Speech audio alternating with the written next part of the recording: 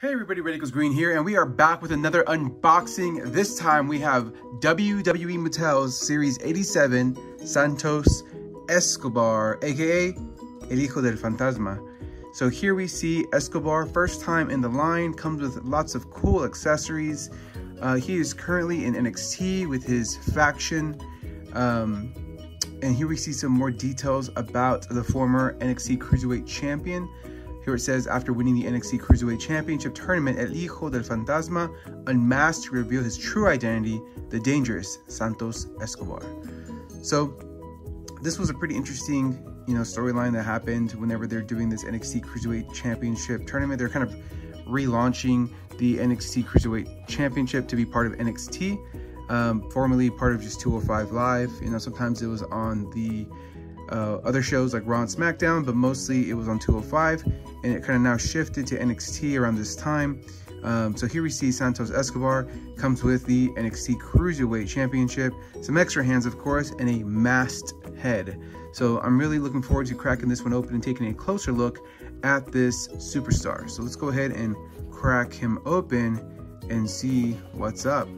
Um, I think lately he has not been really on NXT. You know, uh, at, at, this time of the recording, we're talking about NXT 2.0. Um, I'm not sure about y'all. I haven't really been watching it faithfully. I mean, there's some cool stuff that's been going on, but you know, there's just not enough meat on the bone for me to keep tuning in every week, especially with so many of my favorites no longer part of the brand. So NXT 2.0, not really for me, but maybe you're enjoying it. But here we have the former NXT Cruiserweight Champion with the championship, new head sculpt hands. So let's crack him open, pull him out of this plastic and see what he comes with. Uh, There's like a rubber band here holding it in place. So here we have Santos Escobar with all his different accessories. Um, but let's take a closer look at him. See his uh, head sculpt, dead on, looks just like him. I feel like the neck is a little high, but uh, I think that's to make up for the space with the long hair of the masked head sculpt. So we'll take a switch and look at what that looks like. So here he comes with his tattoos, um, a lot of great detail. Also on the back, you see this graphic, Legado del Fantasma, Legacy of Phantasma. There he is with his boots. Pretty neat. Has this kind of mask design. The rose. Other side, the rose. Interesting style boots. Different than usual. Um, I, I, know he's a cruiserweight champion, but he does seem a little, I don't know, skinnier in the arms. I feel like he's bigger in real life, or his arms are kind of long. But all in all, pretty great figure. Has everything you could ask for. Uh, cause, because it includes, of course, the new design of the NXT Cruiserweight Championship. Um, it's in black. Has still has has a little bit of the purple details, uh, kind of dark purple now. And the biggest change is the NXT logo. Used to have the WWE logo, um, the black strap instead of the purple. No more orange details. Just kind of a plain black and silver look. Uh, I mean, I like this. I probably prefer black leather on championships, um, but this one looks pretty cool. Um, I'm excited to have this as part of the collection now. So let's uh, let's go ahead and strap him up with a championship belt. This is probably how be how I would display him. He was a great uh, champion. He gave a lot of um, great matches defending this title and really brought a lot of um, I think brought a lot of uh, prestige to the championship, which is funny because sometimes the title, uh, you know, the title doesn't really, I don't know, sometimes the title makes the guy, but sometimes the guy makes the title. So like whatever title you have, if you have it on the right guy, they make they make the title seem really important. So at the time when he was champion, he made the NXT championship, the Cruiserweight championship, uh, seem really important. But this, Santos Escobar, is not how he won the NXT Cruiserweight Championship. This is how he defended it. When he won it, he was this guy, El Hijo del Fantasma. So let's pop this off real quick and see how it looks like with the new heads, with the other head sculpt. So that popped off pretty easily. And let's see if we can pop this one back on. Huh. Okay, so unfortunately, I thought I almost broke this figure trying to put the new head sculpt on because the it was just too tight to fit the um, piece that goes inside. So I had to go heat it up a little bit and now it fits in really good, uh, very easily. And here we have the mask El Hijo de Fantasma. Now this is a great mask, simple design, but they got a lot of good details there with the paint application. So there's not any, any there's not really any other like, you know, molded details. Just a plain kind of lucha mask on them. Uh, and they just printed on the design. In the back you see some more of the design. Um, but I do like the hair that's molded out coming out the bottom. Uh, he doesn't have like a lot of elaborate things on his mask anyway, so I think this works and I think it looks really great. He wore this mask for every round of the tournament for the NXT Championship until eventually he beat, I think it was Drake Maverick in the finals, um, unmasking and then turning heel, you know, beating up uh, Drake Maverick. So this is Santos Escobar with the mask on, El Hijo de Fantasma.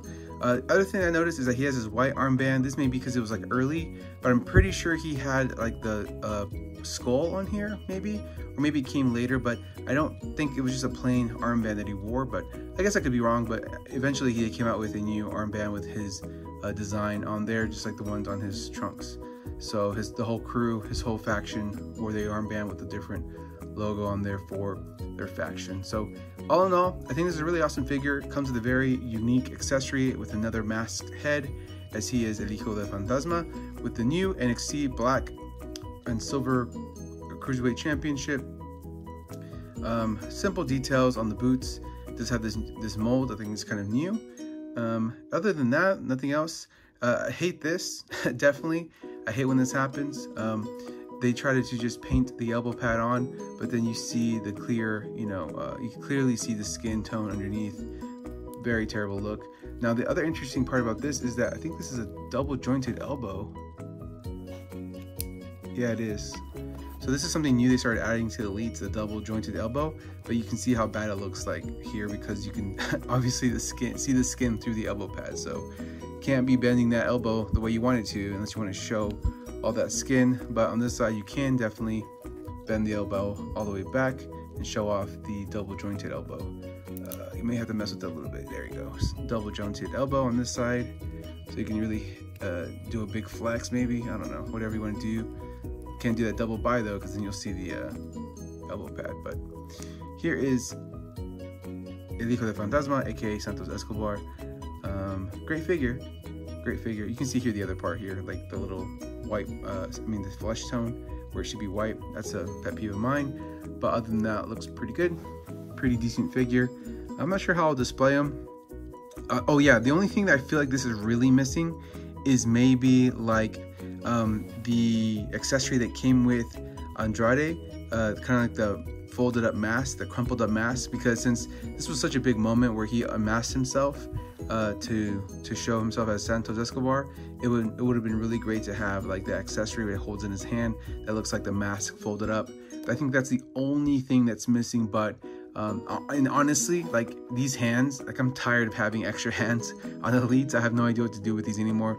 So if they would have cut these hands out, maybe and then instead give him the little mask accessory so we could have the crumpled up mask in his hand as he unveils himself as Santos uh, Escobar. So I'm not sure which head to keep on him. Um, maybe get two, and then you can do both. You know, good guy, bad guy. But uh, for now, I think I'll probably keep him with the mask on, just because uh, that's kind of how I knew him before he joined NXT as El Hijo de Fantasma. So tell me what you guys think in the comments below. Please like, share, subscribe. Um, are you picking this guy up? And if so, are you picking up two? Are you gonna have two in your collection? Mask and unmask? Um, I really like this figure and I like this character and I can't wait for his, the rest of his faction to come out. They are coming out as basics uh, and as chase figures. They're to come suited with uh, the face paint on and with the other face paint off. And then they also have the extra mask you put on the guy. So this is to be definitely one that you need to pick up to complete your uh, faction in NXT uh, Legado del Fantasma. So don't miss out. Pick this guy up today in your local stores and on Amazon. They were pretty cheap actually recently. So tell me what you guys think in the comments below and I will catch you next time. Follow me at Red Equals Green if you haven't done so yet. Thanks.